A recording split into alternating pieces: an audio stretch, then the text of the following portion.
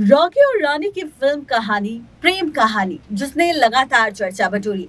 आलिया भट्ट और रणबीर सिंह की इस फ़िल्म और जोड़ी ने खूब नाम कमाया, खूब पैसा कमाया और इनकी केमिस्ट्री को फैंस ने खूब प्यार किया। लेकिन इस बीच सबसे ज़्यादा चर्चा अगर हुई तो वो है धर्मेंद्र और शबाना आजमी का लिपलॉक सीन जहाँ पर कुछ फैंस ने तो ये कहा कि लिप लॉक वाला सीन ज़बरदस्ती इस फ़िल्म में डाला गया।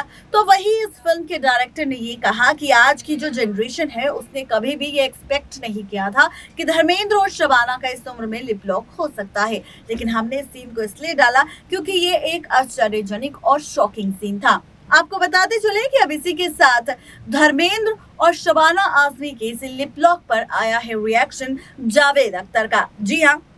शबाना आजमी के पति जावेद अख्तर ने इस फरमाए गए सीन पर अपना रिएक्शन दिया। आपको बता दें, रॉकी और रानी की प्रेम कहानी में भले ही लीड रोल में रणवीर आलिया हो, लेकिन सबसे ज़्यादा चर्चा धर्मेंद्र और शबाना को लेकर हो रही है। फ़िल्म रिलीज़ के साथ ही धर्मेंद्र और शबाना आजमी के किसिंग सीन को लेकर जोरों शोरों से चर्चा होने लगी।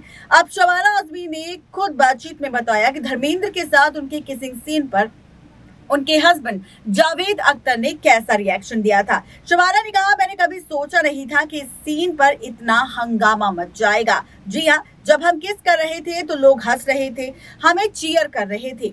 शूटिंग के दौरान लेकर कोई इशू नहीं हुआ। ये सच है कि मैंने स्क्रीन पर ज़्यादा किस नहीं किया। शबाना ने आगे ये भी कहा, लेकिन धर्मेंद्र जैसे हैंडसम आदमी को कौन किस नहीं करना चाहेगा?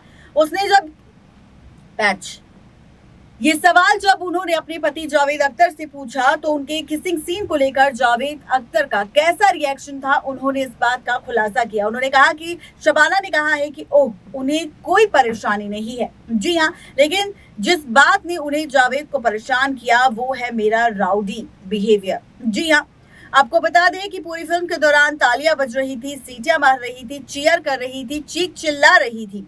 वो वैसे बैठे थे जैसे कि पास में बैठी एक महिला को वो नहीं जानते। मैं एक्साइटेड एक्साइटमेंट की वजह से पागल सी हो गई थी, लेकिन वो एकदम शांत होकर मेरी फ़िल्म को देख रहे थे। तो ये थी आज की खास खबर, किस तरह से शबाना ने खुद किया खुलासा, उनके पति जावेद को भी धर्मेंद्र और शबाना आजमी के किसी सीन पर कोई भी आपत्ति नहीं है। आज के खास रिपोर्ट में सिर्फ़ इतना ही, तब तक के लिए दीजिए इजाज़त, शुक्रिया।